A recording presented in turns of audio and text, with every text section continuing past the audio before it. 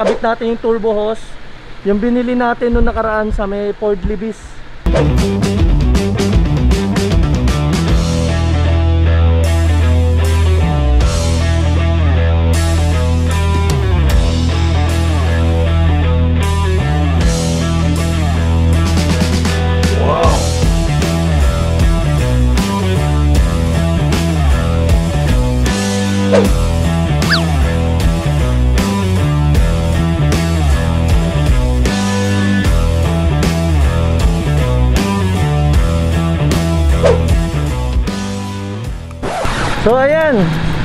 Ngayon, papalitan natin. Kasama natin utol ko si Joseph.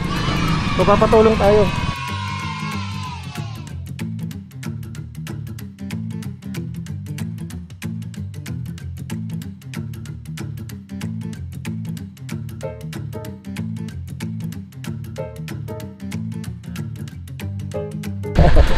Kaya mga ka-trippers, ayan o. So ito yung pansamantalang nilagay natin.